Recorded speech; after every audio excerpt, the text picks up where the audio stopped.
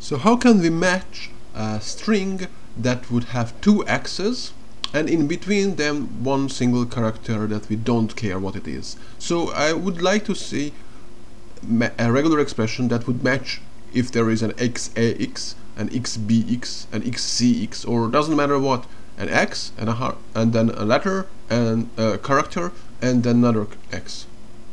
So there should be a character here, exactly one, and I don't care what it is. That's what dot is for. Dot, this one. So the regular expression would like this, would look like this: x dot x.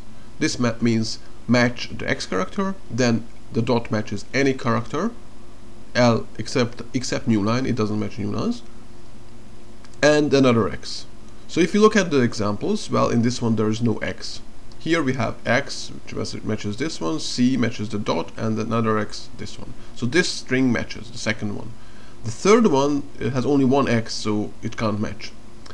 Here, first the x matches this one, the a matches the dot, and then there's a b and it doesn't match the x, so this is not a match. But then here there is another uh, possibility, so xcx it does match here. So this string also matches. Then this string, again, dot can match any character including space, so x space x, that matches here. It can also match dot itself. So this string also matches. Or even this string when there is only one that part in there. But it doesn't match this string.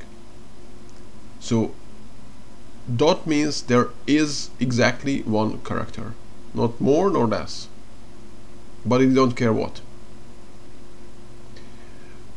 what if we want match to match exactly this one so the the case when there or actually these two so when there is an x and dot and an x.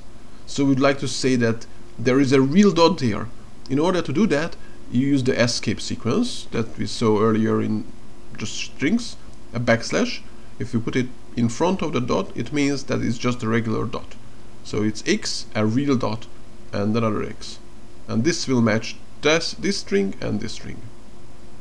In general, there are uh, several these special characters in the regular expressions and as I mentioned in different regular expressions engines in other languages the meaning of these might be slightly different in general they, they, they are quite similar but some of them in, in some cases the escaping is, is in the other, other way around. Anyway these are the special characters and of obviously the, delimiter that uh, is at the end is a special character because uh, it would mark the end so you can't just use it. So all these need to be escaped if you want to say that okay this is the regular expression. But as we'll see uh, there are more cases and uh, there are cases when the regular expression change meaning or lose their meaning their special meaning. So I'm just putting it up front here